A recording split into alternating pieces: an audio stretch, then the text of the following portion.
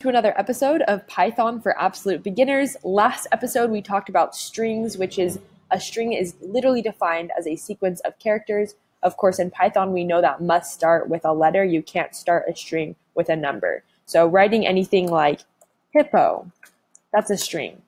Now, we also talked about the basics of string slicing, which is where you, maybe you have a string of information and you want to divide it up in some way. So if you had hello, for example, and you want to just grab, say, um, H, then you just say, find me O in the first, because in Python, the first letter is zero, then one, two, three, four. So there we're just going to get H. So that is kind of the basic uh, pre-understanding you need to have a string slicing.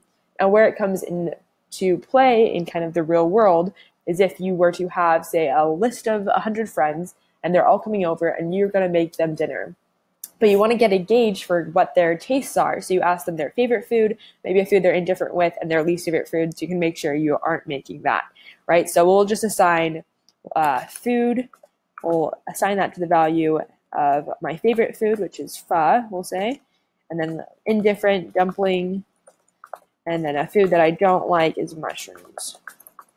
Right, so now food equals this string of information my favorite, indifferent, and my least favorite. But we got a hundred of these responses. So there's a hundred people that wrote out a string, their favorite food, uh, food they're indifferent to, and their least favorite. But we just want to find their favorite, right?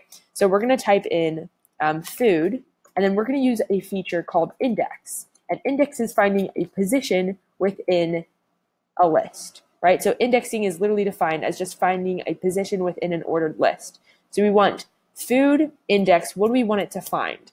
Well, we want, this is a list of 100, so we want it to do the first, let's say, pipe here. We just want it to find the first pipe.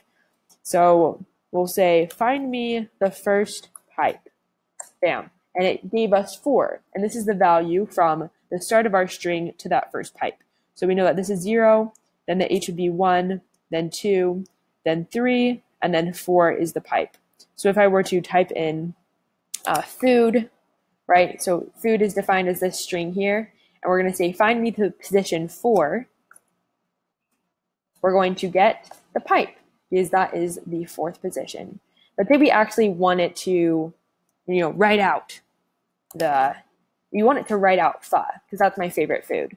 So we're going to slice this string, which is food, which right now includes all that information But we just want it from the start, which we can do the colon, or we could do zero and then colon, and then put four. And there we're going to get pho. But we want to not only find that string, we want to assign pho as my favorite food.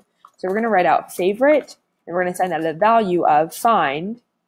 Uh, so food. This is if we just did that favorite favorite equals food, it would be pho, dumplings, and mushrooms. And we know that that's not the case. I don't love mushrooms. So food, we have to be specific about what we're referring to, starting from the colon, which again, we could do the zero or the colon. And then we're saying in that string, find me with index the first pole. Right? So here, we're now assigning the value of our favorite food is this bit. Perfect. So now when we put in favorite, what's going to come? Pho. Pho appears. So now whenever when you're assigning this value or when you're looking to slice a string, you can not only assign uh, value to a subset of information or movements in a string, but you can also slice it in a way that will save you time.